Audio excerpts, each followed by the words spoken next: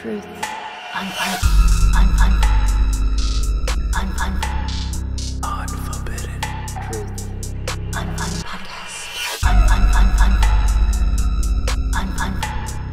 Unforbidden. truth. Un, un, podcast. Un, un. Welcome to Unforbidden Truth. I'm Andrew. Today I'll be doing a Q&A with the Alaskan Avenger Jason Vukovich with questions from listeners. Jason is serving a 28-year prison sentence for attempted assault and robbery, 5 years being suspended for attacking 3 pedophiles after using the sex offender registry to track them down.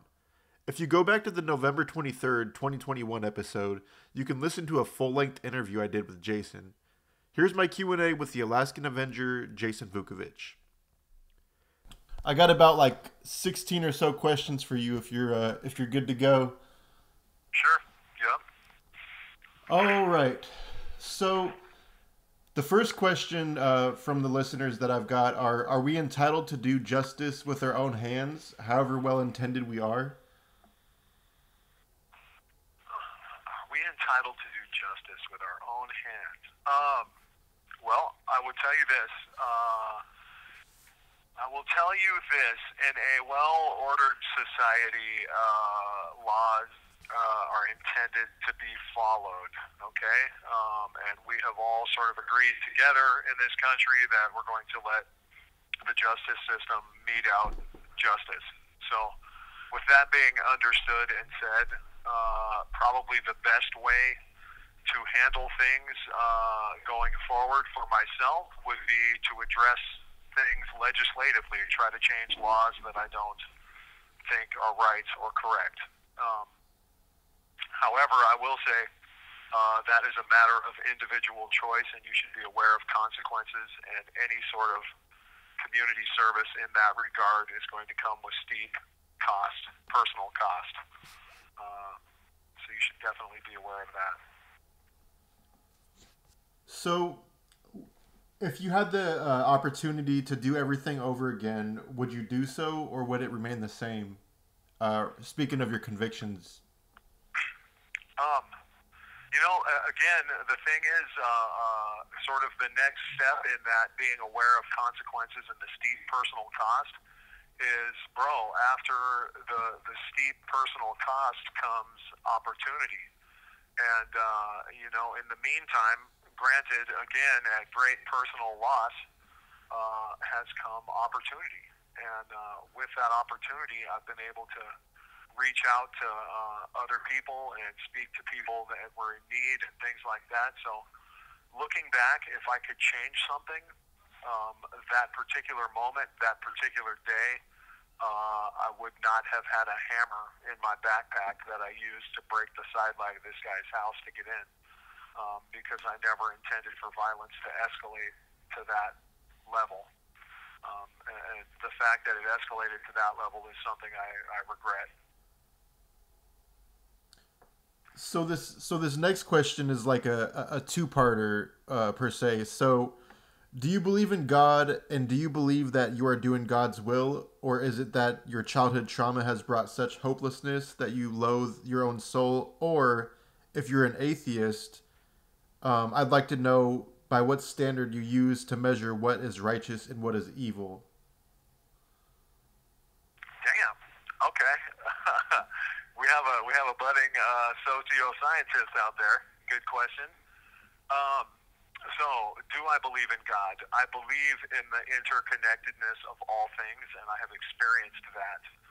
Uh, I I believe in the invisible or energetic plane because I have experienced it.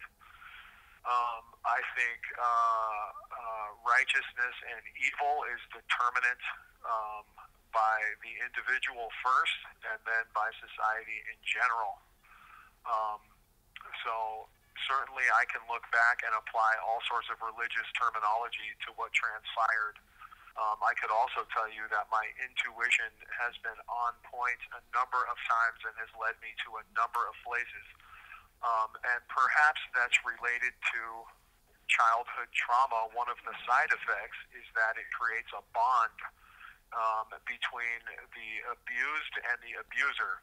So what that means practically is the abused become sensitive to other abusers, things that sound like abusers, that look like abusers, that seem like abusers. You become sensitized to them, which allows you to interact or find them different places you go, whereas other people would not be able to do so.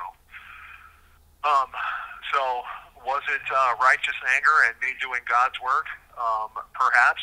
Um, if you were a Christian and you had been abused as a kid, that's exactly what you'd say. Was it me um, having the good fortune of doing something for a young kid that I wish would have been done for me? Certainly. Um, when I was a young kid, if some tattooed up badass would have booted the door in and beat the brakes off of the guy that was molesting me, I would have felt summarily blessed.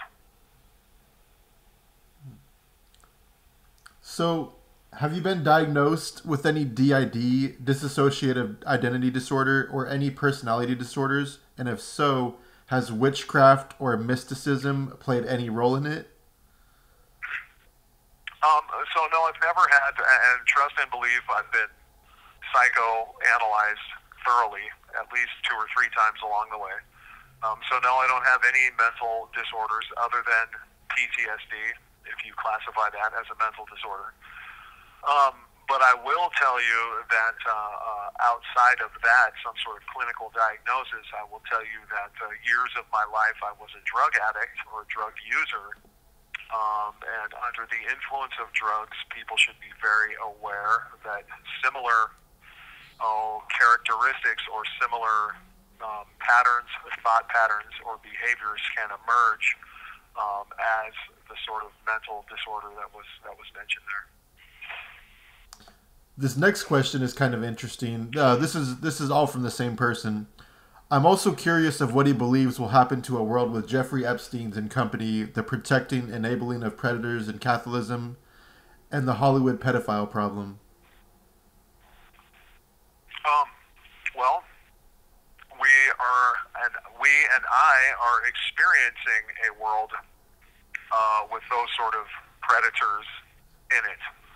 Um, and what happens is it takes a very, very, very long time for the abused to recognize that they constitute a large and powerful body when unified.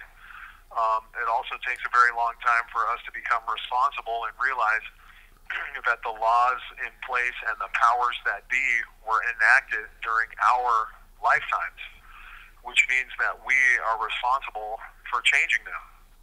Um, so, um, in, in a certain way, um, the stigma associated with this sort of abuse needs to quickly be uh, transcended, and we need to all group together and address the people in power together as a group. Um, that's that's going to be the only way we can change it. I will tell you that. Did you grow up in the foster care system? Uh, no, I was adopted, and then uh, um, uh, so I was raised by an adoptive stepfather, um, and then my older brother, when he ran away from home in the midst of this abuse, I think he was 15 years old. He was in the foster care system for a couple of years.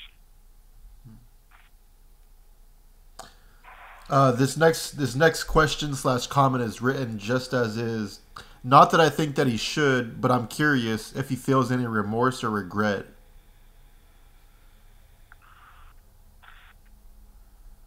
Um, do, let me see. Do I say this one more time, please? Um, Question. not that I think he should, but I'm curious if he feels any remorse or regret in regards to the crimes. Oh, okay. So I sort of answered that prior, but uh, in looking back, and again, this is directly ra- related to opportunity um, that has come my way. Um, opportunity to co-author a book with a professor of criminology. Opportunity to speak to thousands of other abuse survivors that have reached out to me. Um, um, it caused me to to be grateful for what transpired. Number one. Number two, understanding that I was able to be that for one or two other kids is a privilege and an honor, um, and, and I'll stand beside that statement until the day I die. Um, the fact that I was able to be that for a couple of kids, man, just an amazing privilege. Um, but I do regret that one situation um, where I had a, a hammer in hand um, because all along the way, specifically, I went face up, no mask, no weapons, um, on purpose because I wanted to earn, you know, uh, the situation and do it properly on an even playing field. Um, so this next question is, is word for word. I think they said that he also had committed other crimes and that he was accused of domestic violence. Is that true? Uh, so I will say, is that true? Yes, I pled guilty to. It was not uh, a domestic violence charge. It was a. I think they actually called it family violence, which means um, having an outburst or, or some sort of behaving in a in a threatening manner in front of your wife or your children or your wife and children. Um, and I did plead guilty to that years ago. Um, and I also, for sure, had a long criminal record. Um, and I'll tell you, and this is no justification for beha- behaving badly or, or you know breaking the law um, in any way, shape, or form. But what I will tell you is that uh, childhood trauma and sexual abuse is rocket fuel for addiction, criminality, um, lack of self worth, um, and the list goes on and on and on and on and on. Um, so it's almost like the the real answer to that question is, of course, of course I had priors, of course. And of course, my life was a wreck. How could it have turned out any other way? I didn't address my childhood trauma directly in any manner, didn't even know I should or I could until I was 45 years old and already sitting in prison. Uh, when are you up for parole next?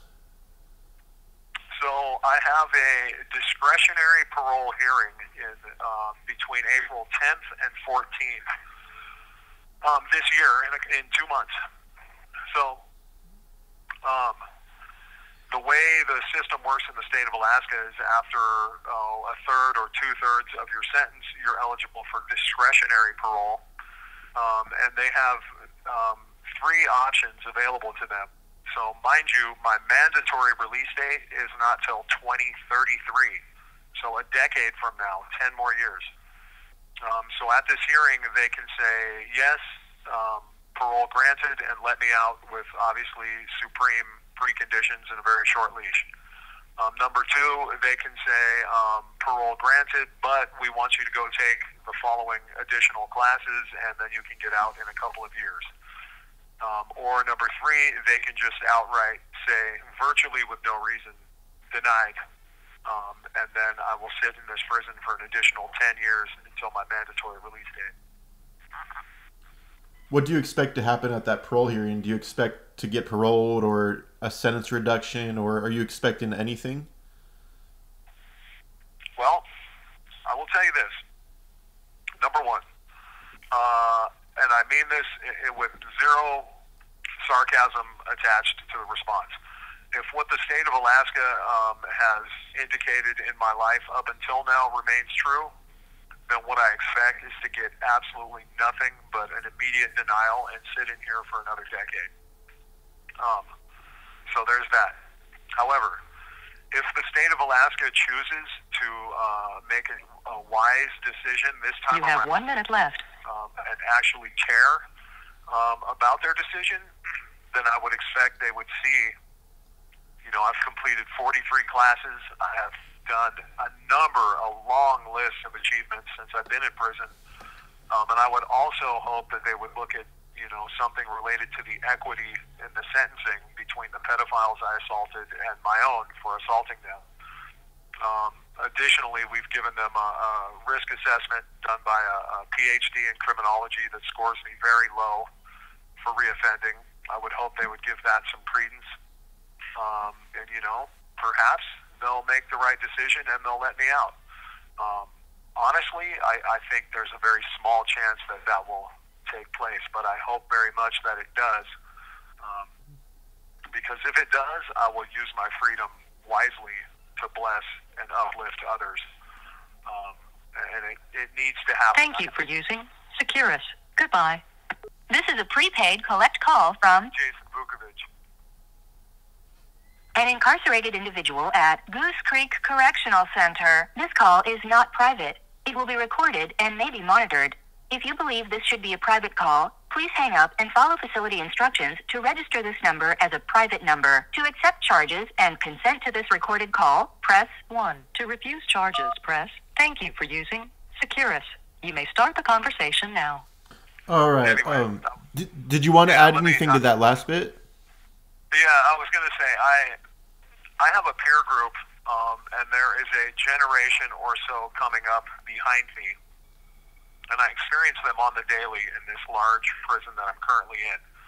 And uh, there are also childhood abuse survivors, um, and they need someone like myself that is experienced and knowledgeable and has learned things the hard way um, and they need someone. Uh, we need someone um, that is knowledgeable and experienced um, in these various fields and aspects that I've experienced along the way, and uh, to get out and to speak um, to them in, in a manner and in a language that they understand.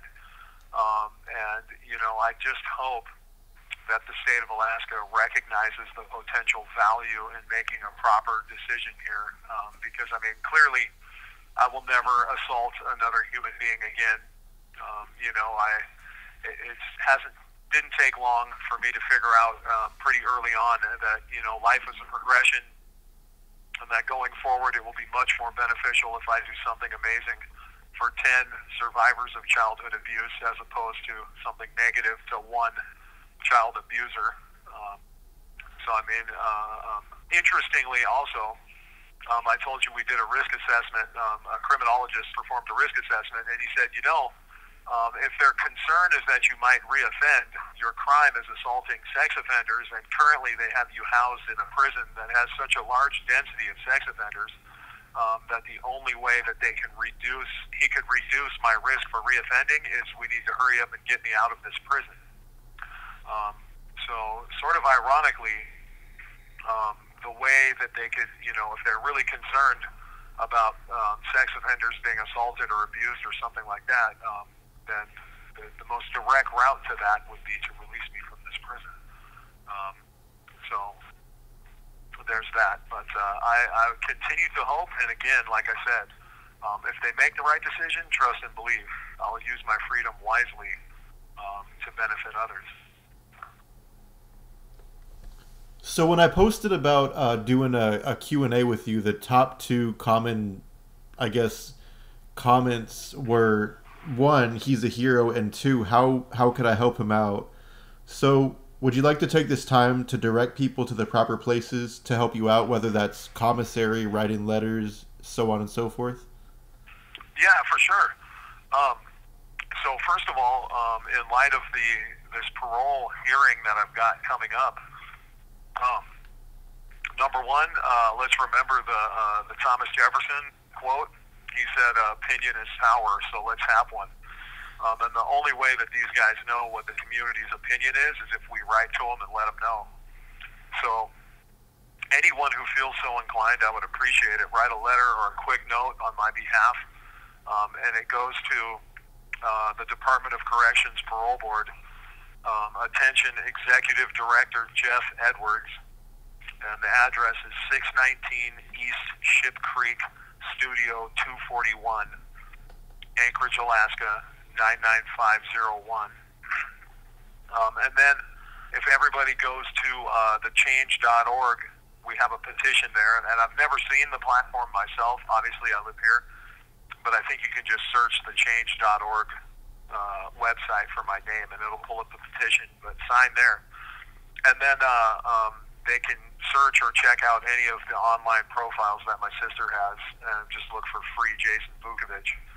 Um, and then, obviously, in the meantime, I'm here at uh, Goose Creek Correctional Center, uh, which is 22301 West Alsop Road, A-L-S-O-P Road, Wasilla, Alaska 99623. So if anybody wants to write to me, they can. Uh, this this particular prison is very antiquated as far as letting people donate to you or anything like that. So aside from being an approved visitor, Um, I think my sister has a GoFundMe or something that they can find on that free Jason Vukovich platform. Um, and, you know, all, donations like that are always welcome. I appreciate it. Do you think that there are any misconceptions about you uh, out in the media? Well, so again, mind you, I live in a concrete shoebox. Um, so interestingly, for instance, I haven't seen the internet in eight years, nine years. So the majority of what has ever been said, honestly, I'm not even aware of it either way. Um, the first, the, the greatest misconception, keep in mind some of the old masters said heroes are made by public opinion, not by the actions of a man. Um, so anything I've done in my life was for very personal reasons. I'm a very private person. Um, there was nothing that I ever intended to be public or gain any notoriety at all. Um, all of this sort of thing is, is just accidental. Um, then number two, I think it's again really, really important to point out that uh, um, some of the feedback I've gotten was this guy's no hero. He's a, he was a criminal and he had a criminal background, et cetera, et cetera. So I mean, absolutely right. I did. I was a thief and a liar for years. I was an absolute mess for sure. Um, and the thing that people need to understand is number one, I have never said I was perfect or great or wonderful or even special. Not one time ever have I said that. Um, and it's worth mentioning that unless you properly address your childhood trauma when you are young, um, you know how to do that. Someone empowers you to do that. You find a way to pay for it or seek it out unless you do that, your life too will also be broken uh, in a whole variety of different ways. It's different for each one of us. Um, so some of that feedback was a little bit surprising to me that you know people were shocked or, or felt you know uh, felt self righteous because I was a criminal in my past. Absolutely, I am exactly the sort of guy that would go and give up his entire life to go handle some business like that. I am exactly the type. you know what I mean? It would take someone exactly as imperfect as me to do something like that. So, anyway. So, how do you feel about your story going viral every so often and being regarded as a vigilante hero by many? Um, well, I mean, number one, um, accolades feel nice. You know, uh, I don't feel alone anymore, and that was nice. I appreciate that.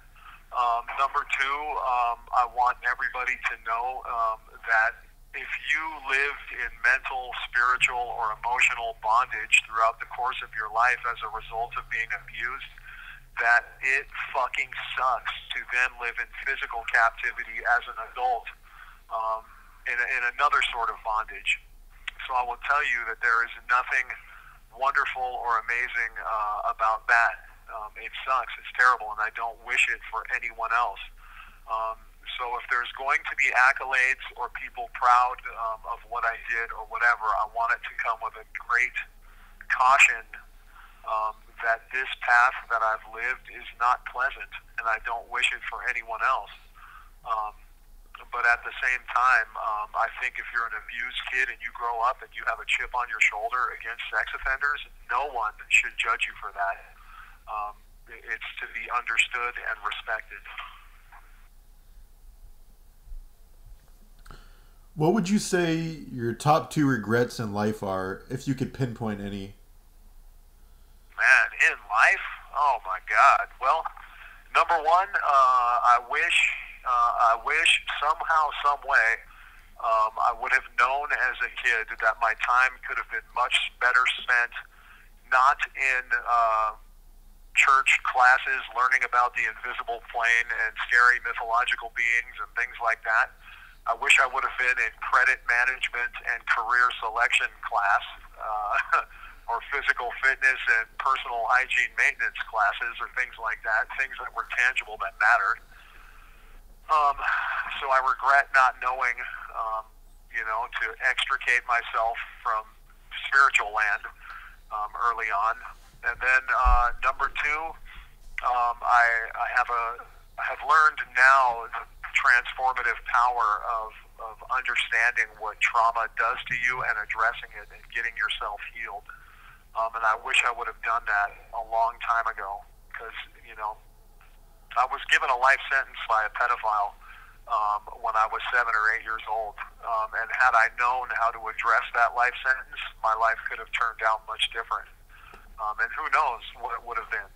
Um, so knowing that now is, is sort of what fuels my desire to get out and lead others to that outcome because, um, you know, I regret not knowing that.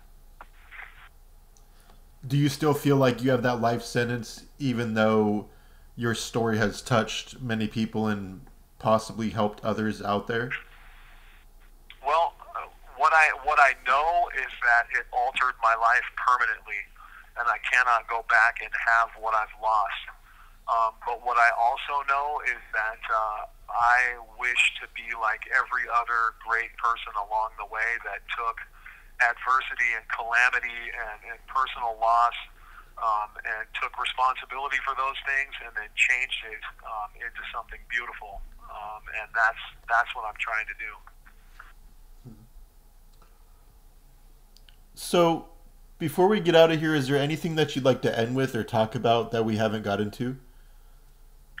Um, well, you know, I just wish everybody to, uh, uh, you know, one of the things that I've found very interesting is I've, I've realized along the way um, that I, and now it's, it's not until now that I have this very eclectic and wide-ranging set of friends in my life, people that have come around me to support me, and they're from myriad backgrounds and, and various levels of success. And uh, what's been very interesting to me is that our common bonding factor was something that we survived as kids. Um, and the only way we came together was by bringing it out and saying so. I was sort of a, a lightning rod for people coming forward and saying so. Um, so I just would like to point out to everybody that I encourage you, if you've got it buried deep inside you, that it's nothing that you should be ashamed of. It's 100% uh, acceptable and it's 100% respected for you to have encountered and overcome something in your youth that was not your fault. Um, and the sooner you bring it forward and speak on it, um, one one time, two times here or there, the sooner you will find commonality and similarities in others around you, and uh, you will come to realize what I realized, which is check this out. We together we are so much bigger than any of the systems that are broken around us. We're huge. We're enormous.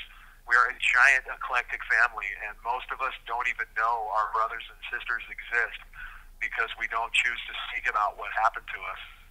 So it's something to think about going forward. Um, you know, and maybe maybe we'll figure out a platform or a way for all of us to come together and, and you know change some of the laws and some of the things for the Ghislaine Maxwell's and you know Epstein's and things like that. These are not the people that should be running shit. They're horrible people, um, and they're lacking any sort of moral code. Um, and we are the ones that can change that or fix that. So, anyway, I think that's about it. Awesome. Thank you. Uh, that was that was great. Um, yeah, we got about.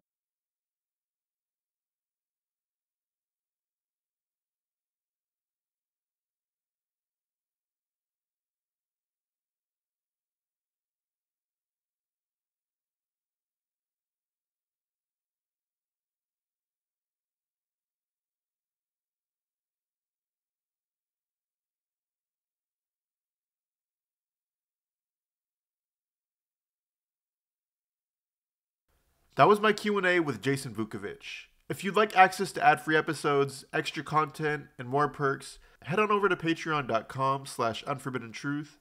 Thank you for listening. See you on the next one. Unforbidden truth. Un, un, un,